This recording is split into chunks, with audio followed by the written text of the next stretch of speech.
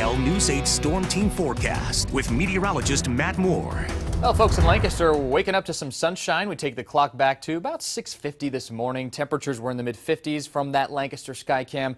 But that sunshine, it really didn't last long. We saw the clouds quickly move in, uh, move in, and by about the 10:30 time period into 11 o'clock, that's when that first round of rain moved in, and that's the one that caused some isolated severe wind gusts and also the isolated damage in a few spots across, especially Lancaster County, eastern end of Lancaster County. Uh, looks like getting hit the hardest, and also into parts of York County. But there was another round of rain. Several showers moved through about 1:30, and every time we had those showers, it knocked down the temperatures about seven or eight degrees and we really haven't been able to recover that much since then, but we do have full sunshine now as we take that live look from our Lancaster Skycam. 62 degrees, dew points are much drier, down into the low 40s, and those northwest breeze at uh, 21 miles per hour sustained, gusts above 30 miles per hour currently in the Red Rose City. So it has been uh, quite a gusty morning so far with the line of storms that went through, and then behind the line of storms, we had more winds out of the northwest. Temperature-wise, right now, 61 degrees in Lebanon at this hour. As you head up into Landisburg, same story, 61 there. Mifflintown at 60 degrees. Farther down to the south, E-Town,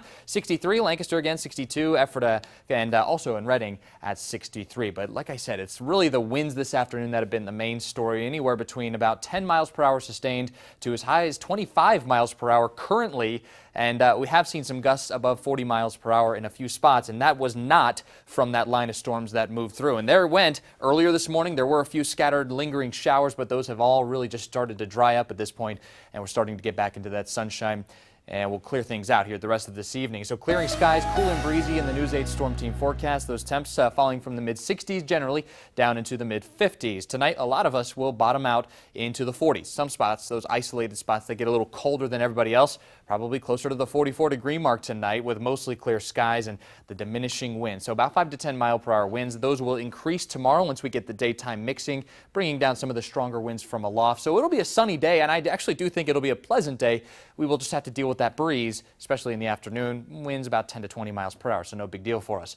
Looking at the almanac from today, 67, that was the official high out of Harrisburg International Airport. The average this time of the year, 79 degrees, so we were 13 degrees shy of that.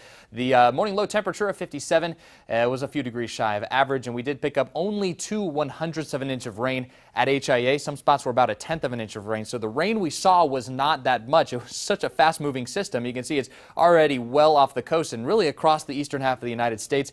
It's the only thing to talk about. High pressure firmly in control across the southeast, and we have this system now moving off to our northeast. So really, we're just getting into this northwesterly breeze pattern. It's going to stay that way for the next couple of days, keeping us cooler than average, and that starts tonight with those lows down into the 40s. But as you can see, we are clear on predictor. We stay sunny all the way into tomorrow, and uh, that really lasts into our Friday morning as well. Now, we are watching this warm front, and it will start to work in from the west as we go into, looks like later parts of Friday, more likely into Saturday. But I think our Friday is actually a mostly sunny, comfortable day and a nice uh, end to the work week overall. But as we go into the weekend, we'll have to watch that warm front for the chance of some showers and storms.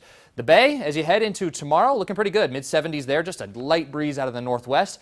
And if you're heading down to the shore tomorrow, a nice one, mid 70s there. Notice the water temperatures, they are warming up, so that sea breeze not quite as bad as it was just a few weeks ago. So again, we have to watch for those storms on Saturday. Looks like the timing is late in the day. Some showers may linger into our Sunday, dry things out into Monday and Tuesday before more showers and storms arrive going into Wednesday. So now we're getting into a stretch of weather. Nice couple of days here, besides the breeze we have to deal with tomorrow. All right, thank you. Mm -hmm.